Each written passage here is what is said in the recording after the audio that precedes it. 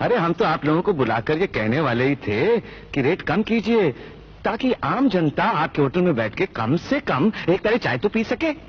क्या रेट चल रहा है तंदूरी रोटी का हाँ? सर जी सिर्फ़ पचहत्तर पैसे।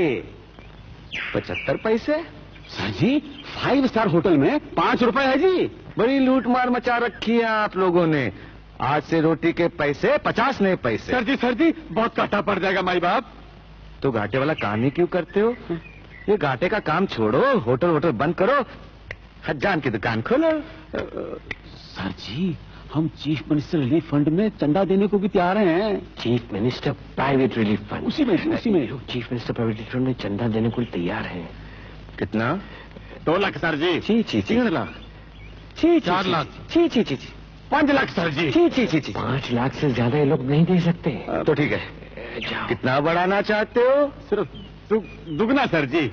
तिगना बढ़ा दो। टिकना तिगना मारी जाओ जाओ सर जी जाओ। हो गया मौजा। तिगना बढ़ा देंगे तो लोग पत्थर मारेंगे। मारने दो आंदोलन करने दो घेराव करने दो।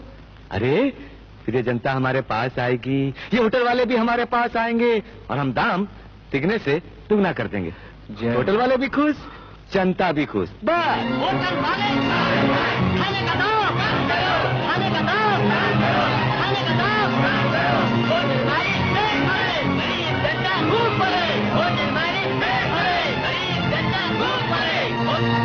प्यारे भाइयों और बहनों, हमें अभी अभी पता चला है कि खाने पीने की चीज़ों के दाम बढ़ गए हैं।